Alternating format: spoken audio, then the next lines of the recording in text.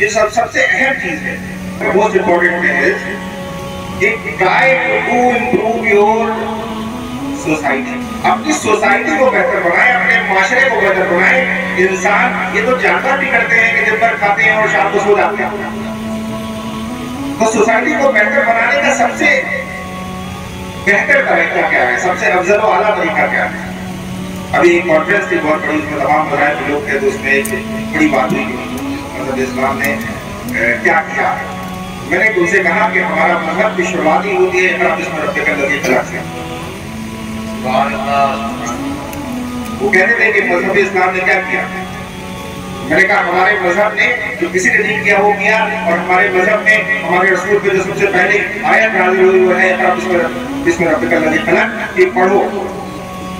तो माशरे की इस वक्त सबसे बड़ी अगर कोई हम हेल्प कर सकते हैं, हम उसका कोई काम कर सकते हैं वो इस तरह कर सकते हैं कि सबसे पहले अपने बच्चों को तालीम दें और पैसे हो तो इन मदारस में वो चाहे असली तालीम के लिए हो, चाहे दिल्ली तालीम के लिए हो, सब करें।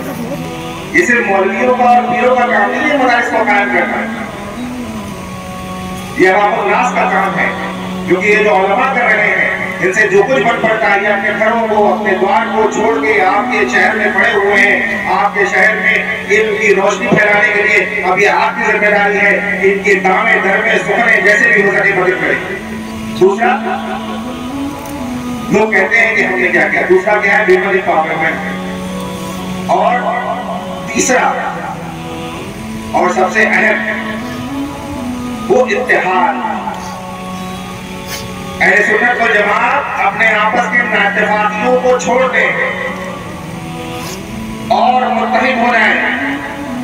किसी ने बड़े ने एक बात कही थी कि हम एक दूसरे को ये सोचते हैं कि इससे हाथ मिलाएँ या ना मिलाएँ, और दूसरे लोग जो है अभियान जो है, वो इस बात पे आमादा है कि हाथ तन से जुदा कर दें। तो दौर ये है कि तमाम मेरे सुन्नत को जमात तो चाहे चिश्ती हो, चाहे कादिर हो, चाहे सरवर्दी हो, चाहे नक्शबंदी हो, सारे लोग मुत्तहिद हो और अहले सुन्नत को जमात का मुत्तहिद होके जो हमारा मिशन है, उसको नज़र मसूर तक पहुँचाने की कोशिश करें